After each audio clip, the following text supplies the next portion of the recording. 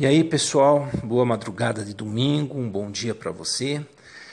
Estou passando aqui agora para homenagear um hater, um fake chamado Cris Cristina. Antes de mais nada, é importantíssimo esclarecer o seguinte: essa figura nada tem a ver com aquela amiga, com aquela parceira, com aquela inscrita do canal chamada Cris Cristina, que sempre foi uma grande apoiadora, gente finíssima.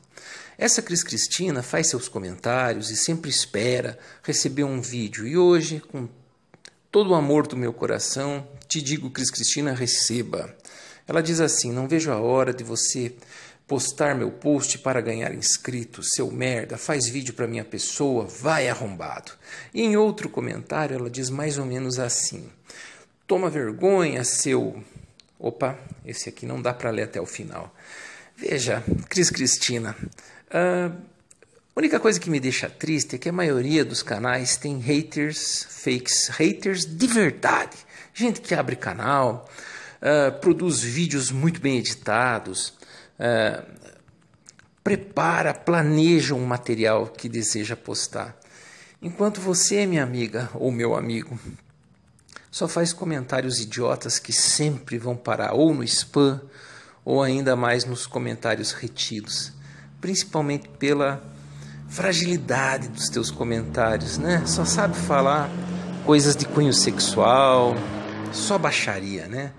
Claro, eu não posso esquecer também de falar dessa figura aqui, ó, Ana Colaco. Ela fala que faz cinco meses que ficou sem entrar no canal, é, veio ver se eu melhorei, mas eu continuo uma fofoqueira de mão cheia, né, perguntando aqui até quando eu estarei no meio das mulheres parecendo uma marica. Pelo jeito, essa figura não assiste o canal há muito tempo e não sabe absolutamente nada do que está acontecendo. Qualquer um que assiste meus vídeos uh, pode acreditar e jurar de pé junto que eu estou falando dele ou dela. Não importa, né?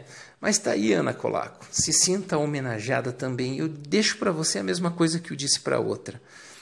Hater fraquinho, hater frágilzinho. Só sabe mandar comentário cheio de palavrão. Um abraço a todos, boa noite. Tchau, tchau.